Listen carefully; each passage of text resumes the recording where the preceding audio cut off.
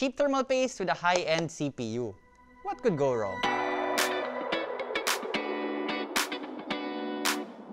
What's up internet? The Ryzen 7 3700X usually goes for around 15,000 pesos and normally we would use something like this, Noctua's NTH1, around 300 pesos to help cool it. But there are cheaper thermal pastes, much cheaper. As in single digits cheaper and we got all of them and we tried them out. Ka ng PC, most likely kailangan ng Windows. Pero saan ka kukuha ng legit Windows? Daming options, daming prices. Baka nito. Buti na lang, may cdkeyoffers.com. Madali lang ang order. Search for the software you need, add to cart, daan ka sa payment options nila, Wala pang 5 minutes, finished! May legit working CDK ka na para sa Windows mo. gamitin ang aming code para makakuha pa ng discounts. Kaya kung naghahanap ka ng legit, mura, at original software, Check out cdkeyoffers.com. So we did a roundup of premium thermal pastes in the past and you can see the results here. But does high price equate to high performance? We're snobs and we love our Noctua, but can the cheap thermal pastes surprise us? Not gonna lie, Actually, they did. Our setup consisted of a fractal design R6 case with a Ryzen 7 3700X and its stock cooler. Then we punished the CPU with Cinebench R23 for 30 minutes and then recorded the maximum temp reached by each paste in that time period. And at stock speeds, actually all of the cheap pastes did a pretty good job. In line actually with Noctua's NTH1, which we used as a benchmark.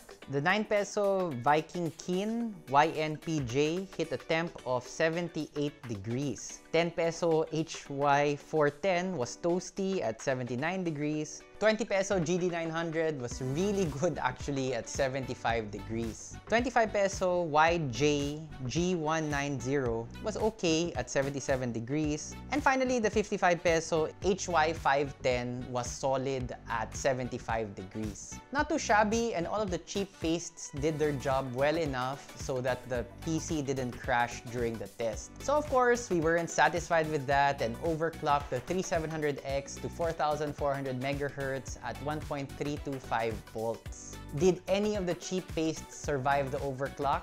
Yes, actually at least one of them passed the overclock. Starting with the benchmark, the NTH1 of course handles the overclock no problem with a max temp reached of 80 degrees. 9 peso YNPJ Flunks, it crashed 10 minutes into the test and hit a max temp of 84 degrees. 10 peso HY410 almost made it, crashing at the 26 minute mark with a max temp of 87 degrees. Sayang, lapit na niya to completing the test. Clear winner is the 20 peso GD900 which passed the test. Completed the 30 minute test on overclock speed with a max temp of 81.3 degrees within hailing distance of the mark of the NTH1.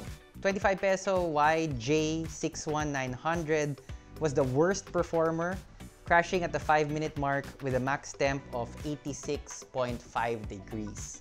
The most expensive cheap paste, the HY510 at 55 pesos, also could not handle the overclock, crashing at around the 12 minute mark with a max temp of 83.5 degrees.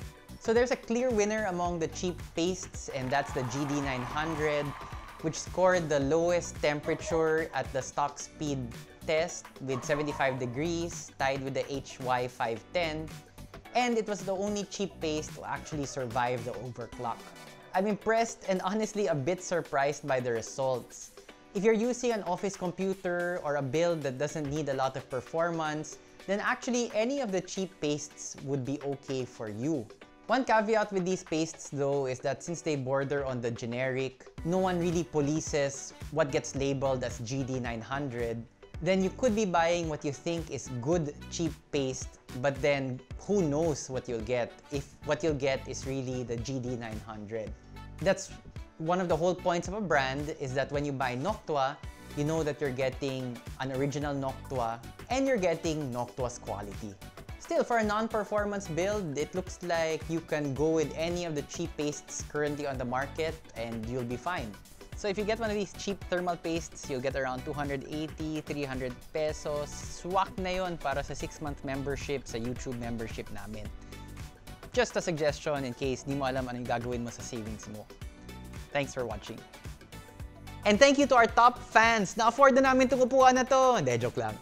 Thank you to Leah Magnaye, Ian Meru, ITX Addict, John Ruben Ocha, Christian Espinosa, and Rafael James.